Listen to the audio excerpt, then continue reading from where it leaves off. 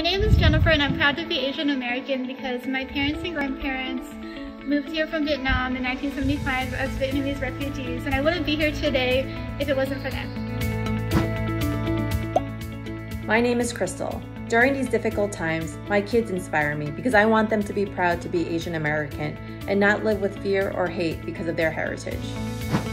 I am proud to be Chinese and Vietnamese American because I have been given the precious opportunity to live life beyond the goals of survival as my parents and grandparents. I'm proud to share their stories of striving for a better life for me and my brother, share my culture with others, and spread awareness of the makeup that is me. My name is Victoria and I work at Experian. Being Chinese American to me means traditions and customs like pouring tea as a sign of respect, uh, making dumplings during Lunar New Year as a symbol of wealth and prosperity in the new year, even symbolically sending things like food and money and other comforts when someone has passed on.